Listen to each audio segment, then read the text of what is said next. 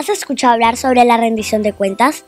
Seguramente sí, y pensás en dinero, pero la organización española Educo, enfocada en educación para la niñez y adolescencia, ha desarrollado un proyecto de rendición de cuentas donde los chavalos y chavalas de Ginotega le piden cuentas a las autoridades de su localidad.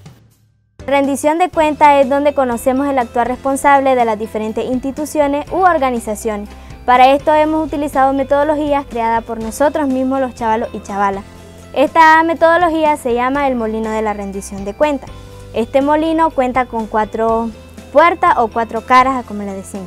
Uno de ellos es el oso lengua larga, que fue una creación por mi grupo de rendición de cuentas. Otro es lanzar a la boca del oso, donde lanzamos los aportes. Otro es sobre una puerta donde ponemos el cuánto, cuánto de diferentes proyectos. Y otro es la ventana donde ponemos los impactos que ha tenido el proyecto. En la lengua del oso, del oso lengua larga, ubicamos lo que son las acciones que ha tenido el proyecto de diferentes proyectos. Bueno, estos proyectos nosotros ya los hemos implementado. Por ejemplo, ya hemos pedido rendición de cuenta a lo que es la policía, al director del centro, eh, a la Asociación Infantil Sirpi y ahora el día lunes 28 de este mes haremos la consulta con Educo. Estos chavalos y chavalas han logrado la rendición de cuentas de distintas instituciones a través de mecanismos formales para cumplir sus objetivos.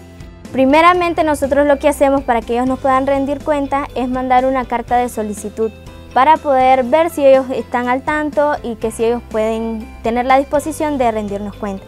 Ellos nos rindieron cuenta sobre lo que es la seguridad escolar, que ellos están velando ahorita por el derecho a la seguridad de los estudiantes.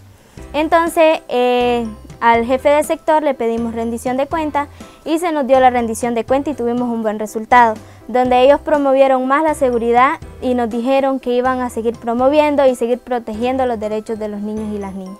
Para Michael, los resultados en su comunidad con el proyecto de rendición de cuentas de Educo han sido muy satisfactorios.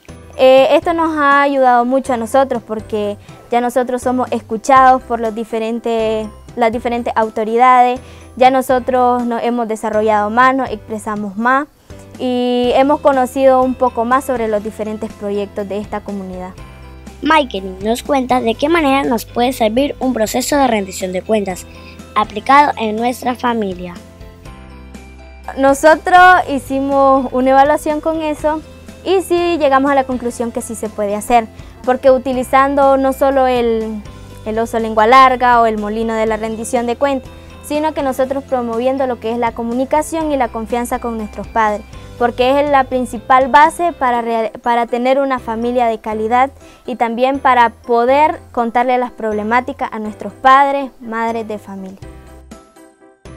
La rendición de cuentas es un mecanismo para establecer un diálogo entre las autoridades o nuestra familia y de esa manera mejorar situaciones o resolver conflictos. Para Niños y Cámara Acción, María José Bonilla.